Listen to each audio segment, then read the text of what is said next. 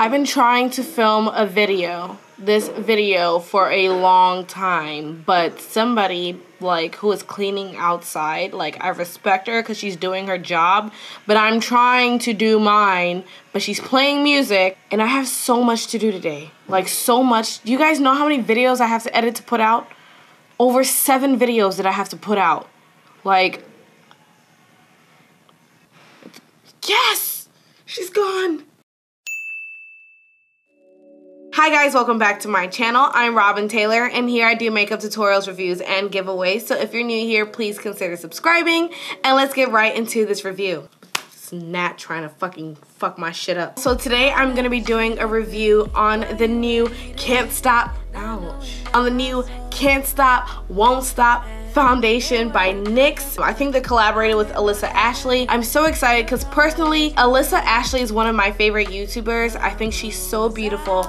I love her personality and I don't know, I just think she's really dope. She's one of those YouTubers who just doesn't get involved in any drama. She's just really pretty and she's like the role model sense. And she's dope at makeup, so I already know this is gonna be bomb. Well, I can't be biased I still, I can't be biased. So I'll, I will still tell you guys my truth with this foundation. I already did my brows because I do my brows before anything else. And I primed my face with the MAC Prep and Prime Skin Base Visage or Vis, whatever.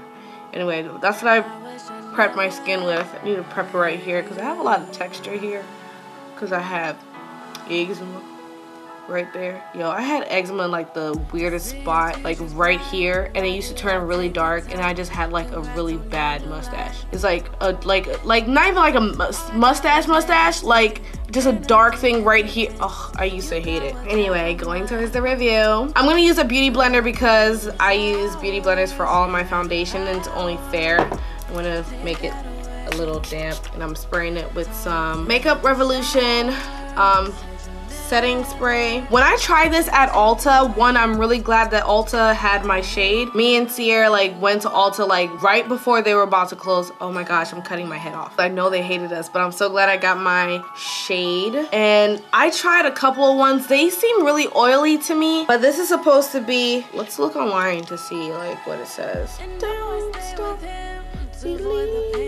want to go to movie theaters, Okay, so the details on this foundation is that it's only at Ulta, either online or in stores. It's lightweight, waterproof, and pigmented AF. NYX Professional Makeup Can't Stop, Won't Stop Full Coverage Foundation. So this is a full coverage foundation. Hustles as hard as you do. This comfy liquid formula comes in 45 flattering tones. 45. When I went to Ulta to get my shade, honestly, there were like four to five foundations that could have possibly been my shade. And I was so shocked because usually I have one or two but with this one I had like five different options where I could be like uh this one's a little too dark. Uh this one's a little too bright. Uh this one is yellow. Uh this one's just right. But I did go to Ocean City so I got a little darker a little more chocolate I got what, which one's this? Chestnut? But hopefully it matches. This is an everyday creamy shade, glides on smooth, delivering a matte coverage. So this is matte, but when I swatched on my hand, it seemed like oily. Maybe it turns matte. This little overachiever also works to control shine and mattify your complexion all day long, but it doesn't stop there. This foundation is non-com, why do they do this to me with these big words? Anyway, whatever. And suitable for normal, oily, combination, and sensitive skin types, which I have like combination skin. I do have eczema and my skin is very sensitive because of that. So how to use this is after prepping your face with a can't stop, won't stop matte primer. I didn't use that, but whatever. Apply and blend the foundation using a Pro Total Control drop foundation brush, pro flat foundation brush, complete control blending sponge for your fingers. So I'm using a beauty blender. So I'm gonna take about two pumps and see how far that gets me. By the way, this foundation is $14.99, $14.89. This is the one foundation that I'm using that actually matches my neck and that I don't have to take down. But I think it's a little too dark. Sierra done set me up. This is a little too dark. I like the foundation though. And in the winter, I get lighter, so I have to get a, a lighter foundation possibly today because I think I really like this foundation. It kind of reminds me of like Fenty and Maybelline combined. This is really, really nice. And I'm not being biased. This was really nice and the price is very affordable. But like when you put it on your face, like it looks like it's gonna be oily and then it turns like matte. Dang. I really did get it. I did get a shade too dark. Because if you look at my chest, dang, usually chestnut is like a brighter color. But 45 shades, shit, that's really good. This is a really, really good foundation. It is full coverage because it kind of like, all my blemishes are gone, which I don't have that much because girl has some really cute skin. I really do like this foundation. I'm gonna go ahead and finish the rest of my face and then give you guys an overall conclusion of how I feel about this foundation. Okay, so my face is still, oh bitch. Oh no. Oh gosh, that was so gross.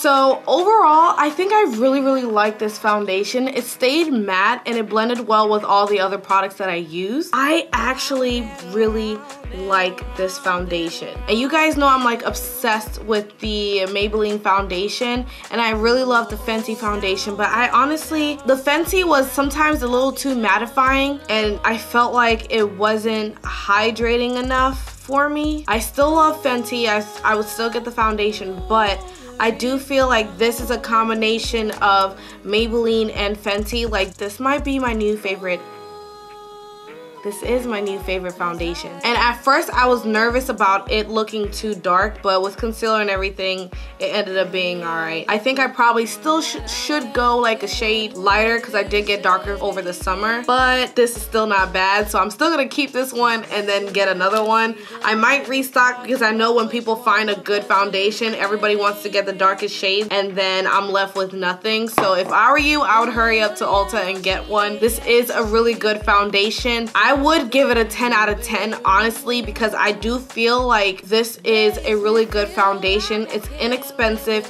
It is very mattifying. It does blend well with other products that I used on my face, and it does not crease. And I've had this foundation on. It takes me like an hour to do my makeup and stuff, so it took me a while. Plus, I got phone calls and everything, and it still looks really good, and I didn't have to touch it up, so I really do like this foundation. Do I recommend it to you guys? Obviously, it's an Ulta. It's $14.89, so you might as well go get some. And I'm excited that Alissa Ashley, she's a good makeup artist and she knows what the beauty community needs, especially this beauty community needs. I feel like she came through with, you know, making us proud. I do like the name Can't Stop, Won't Stop. It just makes you hype and make you you know, just feel like, okay, I'm putting my foundation on. This is a good everyday foundation as well if you don't want to have like a beat face. You can use it, it's buildable, so you can use it for a beat face and you can use it for just like touching up certain areas if you don't want to look rink-a-dink, but you still want to go to the laundromat to do your laundry, but then you don't really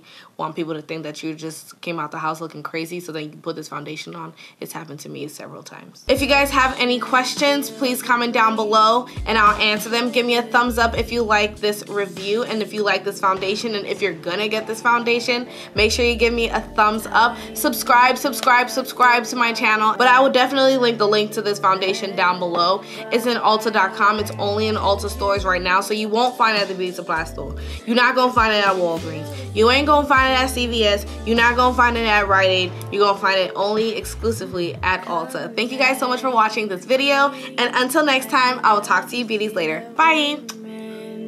To be complicated but intentionally